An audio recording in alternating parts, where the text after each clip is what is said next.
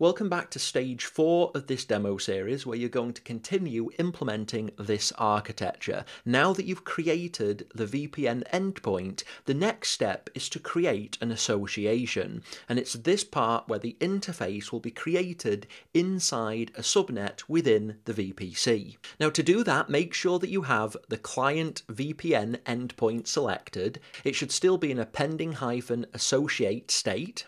Once you've got that selected, go ahead and click on Target Network Associations tab.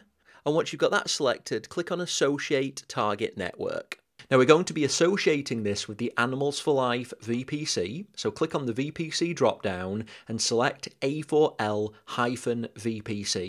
and then you'll need to pick a subnet to associate. Now if you click that drop-down, you'll see all of the subnets listed within this VPC. I want you to go ahead and select one of the private subnets, so you should see A4L-SN-PRIV-A Priv B and Priv C. You might not see them all, and you might see all three. I want you to select one of those subnets, starting as first preference Priv A. If you don't see Priv A, select Priv B, and if you don't see Priv B, then select Priv C. In my case, I do see Priv A listed, so I'm going to pick that one. And once you've selected the first available one, click on Associate.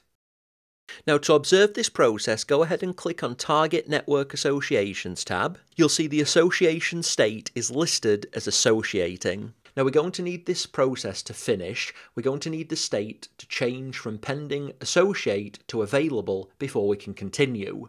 This seems like a good point to take a break though and wait for this process to complete. So go ahead and complete this video and when your client VPN endpoint moves into an available state then you can start the next part of this demo series.